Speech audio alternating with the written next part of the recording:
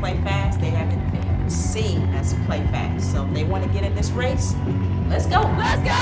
Let's dominate! Let's take this to the house! This is stolen by Bentley. Bentley on Standish. It's a one-on-one. Bentley hesitates, takes it down low, up the glass and good. Covered by Walker. Goes right around Walker. Bounce past the Nickson. Baseline jumper by Mia is good. Standish brings it out near the center court circle to reset up. Then goes behind her back. Stolen by Taylor again. On the way by Mackey is good. Penn State trailing 33-28. We're fine.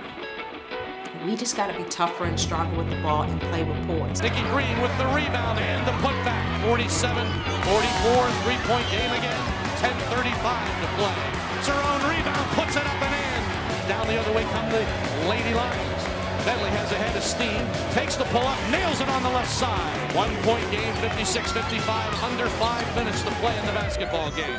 Little has it knocked away by Taylor, stolen by Taylor, good by Taylor. And Penn State has the lead, 57 56. Game clock about 27 seconds different.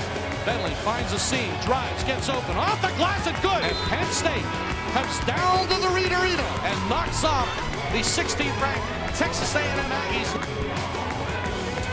Now they'll get set to take on Lafayette on Sunday afternoon at 2 o'clock at the Bryce Jordan Center.